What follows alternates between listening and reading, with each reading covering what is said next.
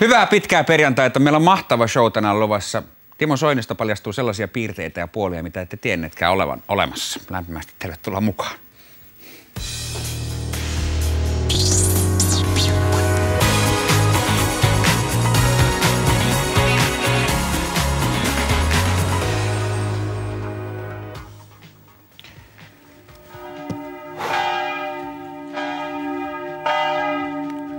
Tänään elämä on synkkää.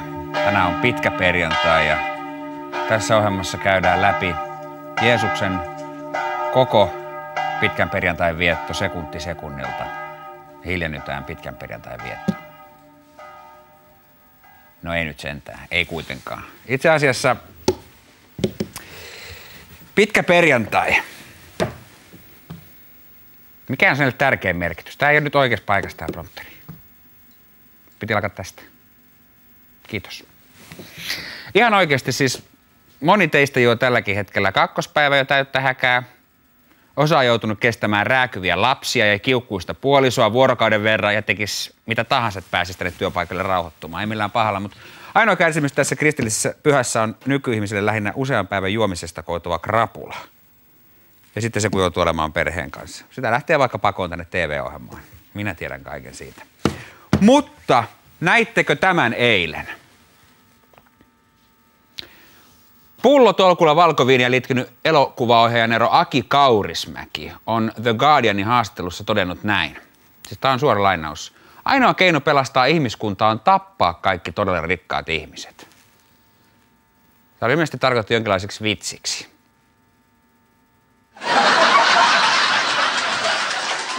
Ei ollut kauhean hauska vitsi. Samassa yhteydessä kaikki julkisen arvostelun ulkopuolella Kaurismäki totesi tappavansa itsensä vielä jonakin päivänä. Mikä sitä Aksua nyt noin kiukutti? Oliko, ottiko taas viinanpirulainen vallan miehessä vai onko tässä nyt menossa seuraavan toimintalokuvan ennakkomarkkinointi? Miettikää itse siis, tämä ei ole niin huono idea ollenkaan. Aki Kaurismäen ohjaama ison budjetin action-elokuva, jossa köyhä tulitikkutehtaan tyttö Kati Outinen syö superpähkinän ja pelastaa koko maailman tappamalla kaikki rikkaat. Sitten välillä puhutaan kirjakieltä ja poltaan tupakkaa, puhutaan taas kirjakieltä ja poltaan tupakkaa. Ja sitten 10 minuutin sähäkkä takaa jo kohtaus New Yorkin keskustatunnelissa. Hyvä Aki. Hyvä Suomi. Miltä kuulostaa Timo Soini? Rikkaa pitäisi tappaa. Onneksi tämä ei ole perussuomalaisten kansanedustaja, joka sanoo näin.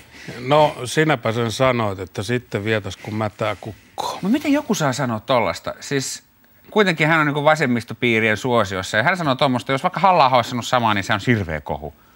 Niin, meillä on kaksoistandardit tässä maassa aika monessa asiassa, että, että mm, sanominen on niin kuin sanojasta kiinni mm. aika monessa paikassa. Mä väitän, että perussuomalaiset teki vähän ratsastatte tuolla rikkaiden vastaisella mielipiteellä.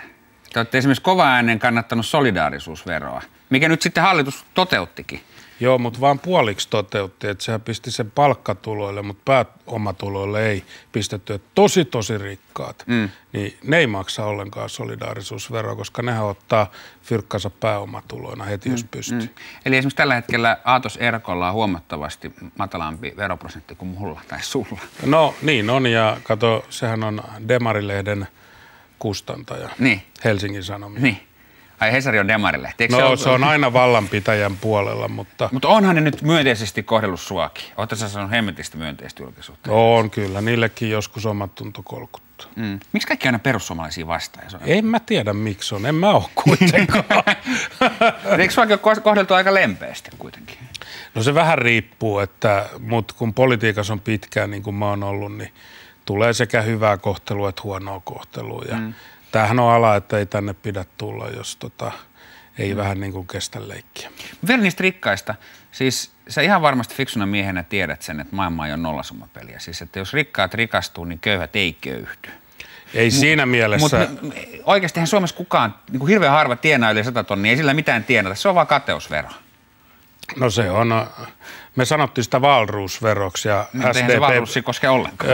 Se on palkkatulot voi ottaa joskus mm. sieltä vähän, mutta, mutta siis tämä koko kuviohan on sellainen, että että tämä on tehty omaa tuntoa tyynnyttämään. Sinänsä ihan hyvä, mutta se iso raha, niin se tehdään usein oikeastaan sisäpiirikaupoilla ja tuolla Ah, pörssipeleissä. Aika kova ja, syytös. Kyllä. Siis sieltä- kuka tekee sisäpiirikauppoja tällä hetkellä Suomessa? No, sen ne on laittomia. Ne, sen kun tietäisin, niin tota, siitä saataisiin käpälälautaa, mutta kyllä me on nyt nähty Suomessakin aikamoista suumurointia eläkeyhtiöiden, säätiöiden, firmojen. Eihän me Suomessa siitä voida vapaita olla, mitä muuallakin maailmasta. Mutta ettekö te persut vähän halua ra- rajat kiinni? Suljettu talous, suljettu Suomi. Ei, me halutaan vaan, että kun Suomeen voi tulla, mutta täällä ollaan suomalaisilla Niin, niin, mutta rahat ja muu, se, saako se tulla tänne? Totta kai, No niin. rahaa ja investointeja tarvitaan, Paljonko on- jotta my- myllyt pyörii. Paljonko on sun mielestä, kuinka paljon ihminen tarvii? Mikä on suuri summa, mitä ihmisen pitää saada tienata? No sanotaan nyt, että se 100 tonnia on sellainen, se on jo erittäin hyvä Ei tuloinen. enempää ei saisi tienata. Saa tienata, jos pystyy tekemään tulosta. Että mun mielestä sitten voi vaikka 10 miljoonaa tienata, kunhan sitten hoitaa siitä osan yhteiskunnalliset velvoitteensa, koska silloin, jos sä pystyt tienaamaan, tekemään tulosta, silloin sä palkkaat ihmisiä, pyörät pyörii. Eihän se ole paha asia, että joku pärjää. Sehän on hyvä asia. Me tarvitaan lisää ihmisiä, jotka pärjää. Katkon jälkeen puhutaan vähän muun muassa uskosta ja muutenkin pääsiäisen teemoista. Ehkä jotain yllättäväkin luvassa. Timo Soini täällä. Jatketaan kohta.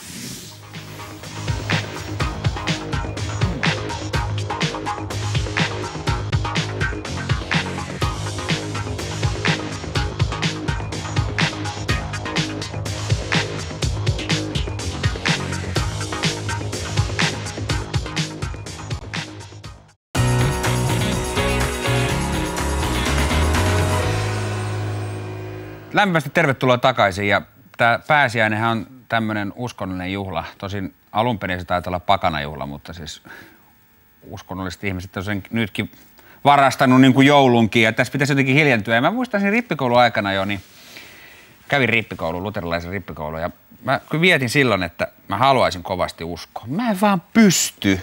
Mun aivot on jotenkin virittäytynyt niin, että mä en pysty uskomaan Jumalaa. Ja sä oot niinku uskon mies, Timo, niin kerro, niinku, miten sä lähestyisit minun tätä asiaa? No, kato, sanaskin sanotaan, että usko ei ole joka mieheen. Niin. Pitää olla altis ja sitten se voi olla, kun se tulee yksi ohikiitävä hetki ja se tilaisuus on siinä ja se voi olla, että ei toistu. Mut siis- Et ole tarkkana. Mutta siis, eikö se ole kauhean epäreilua, että mä, mä en... Maailma on epäreilu. Niin. Kato, nythän ei ole kysymys siitä, että uskoako Jumala sinuun, vaan sinä Jumala. Niin, nimenomaan. Tästä on niinku kysymys. Mä- mä tiedän sen. Ja se, kato, tässä niinku tomumaja ei ole mikään ehtojen asettelija. Mitä se tarkoittaa? No se tarkoittaa sitä, että et sinä tai minä tai joku muu pysty Jumalalle asettaa ehtoja, että minä rupean sitten uskoa sinuun, kun minulle sopii. Saatat vastaan tai sitten et ota.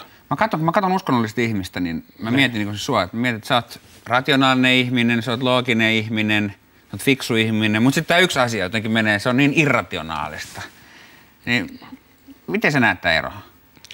No ei, kato, se on vaan siitä, kun kalkit pölähtää kunnolla, niin ne pölähtää ja tarkoittaa sitä, että kun ihminen hoksaa, että tässä onkin joku mieli tässä mm. hommassa, niin kyllä se tekee vaikutuksen takaan, että kun päivä tulee, niin huomaat sen. Öö, miten sulla tapahtui se? No, Oliko se niinku, no ei se, siis tietysti pikkulapsesta ollut semmoinen lapseusko. Sitten sitä täytyy syventää ja miettiä sitten. Irlannissa koin 80-luvun puolivälissä jotain sellaista, joka jäi mieleen. Siitä mä en yksityiskohtiin me enkä julkisesti puhu, mutta kun nyt näkee tätä meikäläisenkin elämänkaarta, tämä on ollut aika erikoinen. No niin on. Niin, niin tota, mm, sen jälkeen en ole pelännyt mitään. siis on, mutta eikö se ole myös pelottavaa? Musta se on pelottavaa uskonnollisille ihmisille se itsevarmuus. Että Se kun voi on, olla. on totuus tiedossa. Esimerkiksi nämä muslimit, mä oon pahoillani, niin, niin kun, sä et saa sanoa näin, mutta mä sanon, että mua vähän pelottaa, jos joku on oikein kiihkeä muslimi, koska se, että joku olettaa tietävänsä, että hänellä on totuus päässä, niin se on musta niinku, se on vaan pelottavaa. Se, että silloin voi tehdä mitä vaan pahoja tekoja. Niin kuin mä ajattelen sen taas näin, että en mä luule mitään tietävän, niin mä vaan uskon. Mm. Eli, eli tämä on se ja sitten se sitten aiheuttaa minussa jotakin jonain päivänä enemmän, jonain päivänä vähemmän, mutta ei se ihmistä vaaratonta, parempaa tai jollain muulla tapaa. Tekee tietoisen. Kato, marksismi aina sanoo, että on väärä tietoisuus. Niin Nekin sanoo, että on tietoisuus kuitenkin, mutta se oli heillä tai heidän mielestään tämmöinen meikäläinen oli väärässä niin se oli porvarillista tietoisuutta. No se oli sellaista jo, että väärä tietoisuus. Niin, niin ajattelin nyt, että marksismikin sellaista soopaa kuin se on, niin siihenkin vie moni usko. Mm. Ja moni uskoo EU-hunkin. No se, sehän ne vasta täytyy olla. Mutta täytyy siis, todella hyvä uskone olla. Niin, mutta siis oikeasti siis uskon logiikkahan menee niin, että mitä järjettömämpää se on ja mitä enemmän tulee todisteita sitä vastaan, niin sitä enemmän ihminen uskoo. Ja tähän on nähty esimerkiksi Jehovan todistajien kannatusmäärä on lähtenyt aina nousuun sen jälkeen, kun niiden maailmanloppuennusteet on mennyt pilalle. Se, sitä, se johtuu siis sitä siitä, kun... En, tunne, sitä en, oikein, en tunne oikein, oikein hyvin tapausta. Joo, Mut miksei? Siis, eikö se, pystyt sä suhtautumaan esimerkiksi katolisen uskoon samalla tavalla, kun sä suhtaudut EU yhtä ra- rationaalisesti? Eikö se koskaan tunnu susta järjettömältä? Joo, siis elämä kaiken, kaikkiaan tuntuu välistä, niin mä oon vähän ajatellut sitä näin, että joko kaikki on sattumaa tai mikään ei ole sattumaa. Voi olla tietysti, että se on siltä väliltäkin, mutta ei, ei kato siinä vaiheessa, kun joutuu jokainen, mulla on semmoinen käsitys, jokainen joutuu jossain vaiheessa miettimään tämän asian mm. tavalla tai toisella. Ja ei sitä ihminen sit joka päivä mieti. Moni ajattelee, että kuule, no en mä nyt kaksikymppisenä, kun on vähän kiireistä, neljäkymppisenä uraa, että mä mietin sit siellä kiikkustuolissa. Ei silloin enää moni mieti yhtään mitä. Se on niin syvällä urassa, että vähän korvat näkyy. Mä oon miettinyt kyllä kovasti, mutta ei vaan, niin ei, ei mene virit, viritys sille tasolle. Se on, se on outoa. Se on kyllä outoa. se, se, jouduks, se jouduks mä sun mielestä helvettiin? En mä siitä päätä. Mutta mitä luulet? No mikä helvetti on, niin helvetti on pysyvä ero Jumalasta, niin en, en minä osaa sanoa, että kuka sinne joutuu ja kuka sinne ei joudu, mutta mun käsittääkseni semmoinen on kyllä olemassa. Missä sun helvetti on? Mitä, no, mitä siellä tapahtuu? siellä olisi varmaan ainakin EUn ei, byrokratia. Ei, eiköhän se ole tota, mm, mä luulen, että kun ihmiset sanoo, joskus kun ne sanoo, että elämä on helvetillistä, niin ne tarkoittaa silloin, että se on vaikeaa, piinaavaa, ahdistavaa, ei ole ulospääsytietä, on tämmöinen niin vaiva mm. ja, ja jonkinasteinen pysyvä epämiellyttävä tila. Mm. Niin eh, se on myös semmoinen toivottomuus, että, mm. että ihminen kestää aika paljon, kun se vaan ajattelee, että jonain päivänä vähän helpottaa, tulee paremmat ajat ja näin, että mä tsemppaan, niin mä tästä selviin. Niin se toivo auttaa. Se on toivottomuus. Mä oon kuullut, jollain toisella puolueella on tommonen slogan kuin toivo. Juu, se on. Se on, se on Koko, hieno, kokoomus slogan. on aina onnellinen. että, tota, no, se on hyvä, jonkun täytyy olla. Hmm, hei, tästä katoisit kirkosta tietysti se, että mikä siitä tulee aina, I'm sorry, mutta siitä tulee vaan valitettavasti nämä kaikki, äh, kaikki skandaalit mieleen, mitä viime aikoina on ollut. Ja saanko mä kysyä yhden asian? No jos ei muuta kyseenalaisteta, niin mikä hemmetti järki tässä, että papit ei saa mennä naimisiin? Koska sehän alun perin, sehän tuli vasta myöhemmin tämä sääntö, ja siinä oli se idea, että saadaan omaisuus kirkolle, ja sä et saa tätä sanoa, mutta mä saan sanoa sen, että, että niin kun, äh, on lukenut tutkimuksia, että esimerkiksi katolisen kirkon papeista huomattavan suuri osa olisi homoseksuaalisia miehiä. Siis, koska mä voin ymmärtää sen, että jos ei niin kun halua muutenkaan olla naisten kanssa, niin on helppo suhta, suuntautua sille alalle. Ja sitten siitä taas sitten johtuu aika ikäviäkin juttuja. No. Niin mikä järki tässä on, että niinku siellä on niinku, äh, kiimaset homomiehet äh, 15-vuotiaiden poikien kanssa. Sehän on ihan sairasta. No sepä olisikin tietysti, sinäpä sen sanoit, mutta kyllä mä niin katson pappeuden kutsumuksena sillä tavalla, että se ideahan siinä on, että pappi on yksin, jotta mm. kenenkään toisen ei tarvitse olla yksin ja hän tavallaan niin kuin – antaa kirkolle ja seurakunnalle sen uskon omistautumisen ja, ja, ja sitten jättää nämä muut asiat mutta taustalle. jättämään. No suuri osa on pystynyt, niin. mutta on hyvä, että, että nämä skandaalit on tullut esiin. Ei ole hyvä, että niitä on, mutta on hyvä, että ne on tullut esiin ja eihän tämmöinen ihminen sinne sovi lainkaan. Mutta mä oon ajatellut aina muutenkin – vallasta ja vaikutusvallasta ja myös kirkosta, että, että jos minä olisin saatana, niin mähän pyrkisin mahdollisimman lähelle alttaria. Tästä on kysymys. No oletko sinä saatana, joka pyrkii en, mahdollisimman En ole, mutta jos olisin, niin sinne ytimeenhän niin, täytyy niin. pyrkiä. Ei silloin kuule kannattaisi pakanoihin hirveästi se on aikaa tuhlata no ja, ja, ja, ja niin kuule pyöriä siellä kehässä, vaan sinne ytimeen. Tässä oli tämän pitkän perjantai uskonnollinen osuus. No niin. Katkon jälkeen mä heitän haasteen Timo Soinille, jos me molemmat päästäisiin kesäkuntoon kesäksi. Molemmilla me kunto on mennyt vähän huonompaa suuntaan viime aikoina, ainakin mulla. Ja myös Timolla ehkä. Tästä lisää katkon jälkeen. Sä oot rantakunnossa. Enkä oo. Mä en jaksa, mä en hemmetin väsynyt.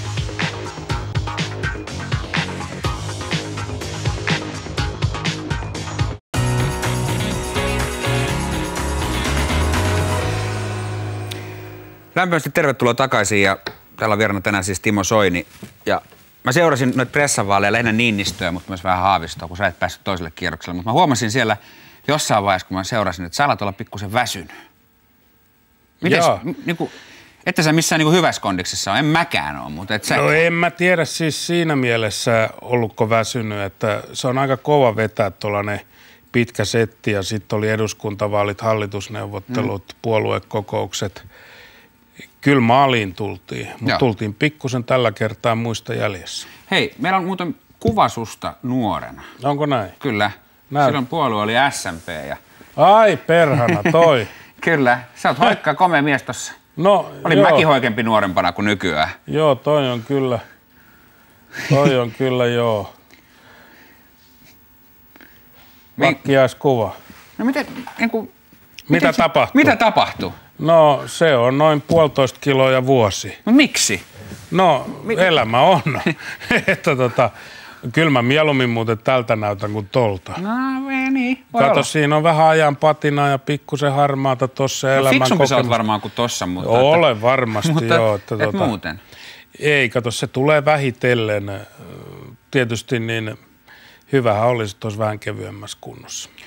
Ö, mi- minkälaiset elämä, elämäntavat sulla on? Koska mä oon tosi väsynyt ja mun täytyy myöntää esimerkiksi, että mä syön vähän epäsäännöllisesti. Sitten illalla, kun oon tosi väsynyt, niin mä otan muutaman punkun ja muutaman bissen, jota meillä kotona kutsutaan lapsen kuulen nimellä kaffe.